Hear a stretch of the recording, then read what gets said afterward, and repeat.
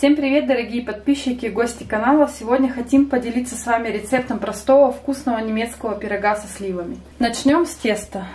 Для теста нам понадобится 220 грамм муки, 100 грамм молотого фундука, 90 грамм сахара, щепотка соли или пол чайной ложки, 1 четвертая чайной ложки корицы, можно не добавлять, если не любите, 2 чайные ложки разрыхлителя, 150 грамм мягкого сливочного масла и одно яйцо.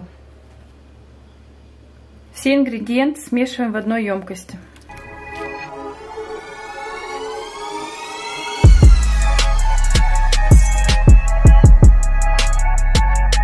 Теперь смешаем все ингредиенты около 30 секунд миксером.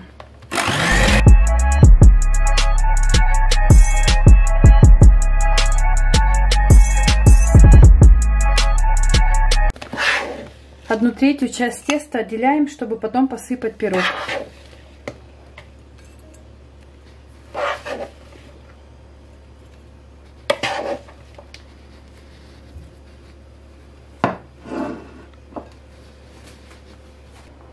После того, как отделили часть теста, остатки перемешиваем.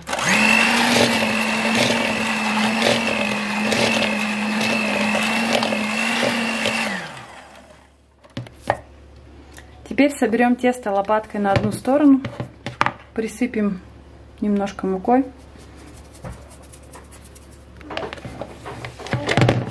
В другую сторону также присыпем мукой.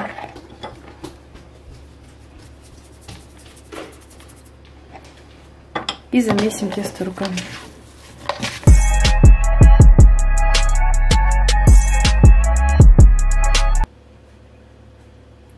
Застелили форму для выпекания пергаментом и помазали края сливочным маслом.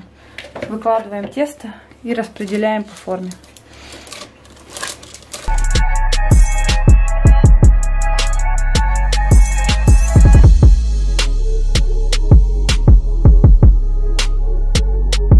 Края нужно поднять пальцем до середины формы наверх. Гагадок, пишу, пишу, гагадок.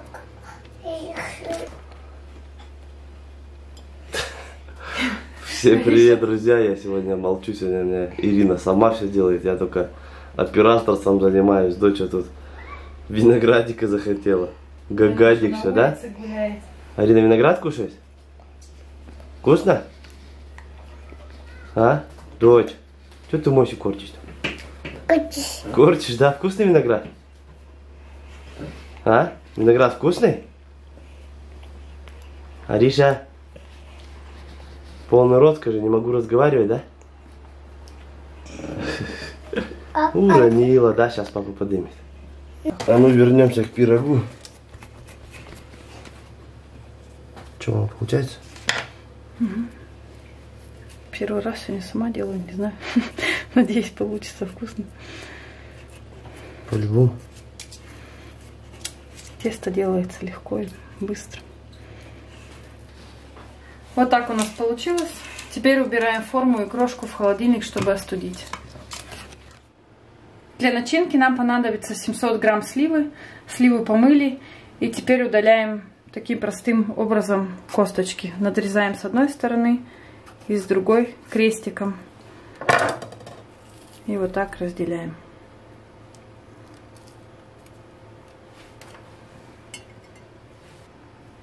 Тесто охладилось, теперь выкладываем сливу в форму разрезом наверх.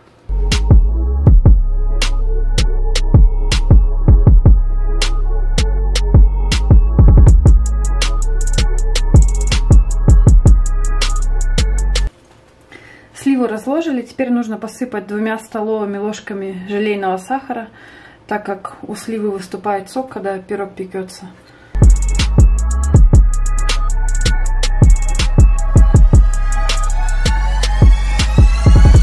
Теперь посыпаем пирог охлажденной крошкой. Если кто-то хочет больше крошки, нужно отделить в начале от теста побольше.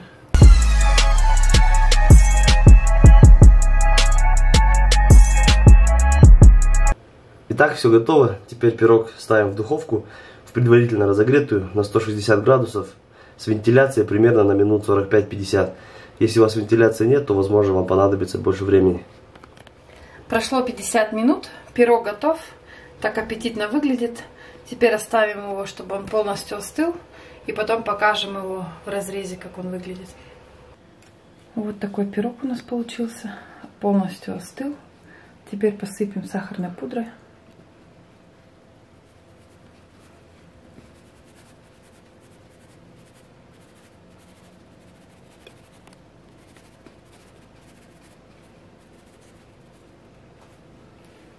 Вот какой со всех сторон пропекся. Сейчас отрежем вам кусочек и покажем, как выглядит в разрезе.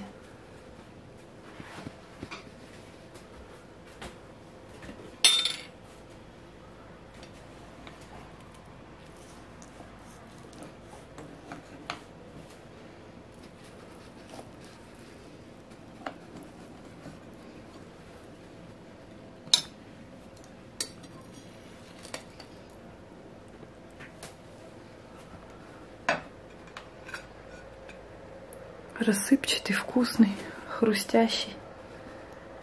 Приятного всем чаепития. Сейчас, Сейчас Даня будет пробовать. Сейчас как раз сезон сливы. Попробуйте и вы такой пирог. Быстро делается, легкий. Всем привет, ребят, с вами я. Сегодня буду пробовать очень вкусный пирог, который спекли мои мама с папой. Лайк им за такой вкусный пирог. Спасибо, сынок. Спасибо тебе, Ну что, давай попробуй. Угу. Спасибо. Вот, ребят, такой вкусный пирог. Если вы попробуете, то тоже вам будет вкусно. Вкусный. Ставьте лайки, подписывайтесь на канал. Всем пока. Будем рады вашему просмотру. До да. новых встреч. До свидания.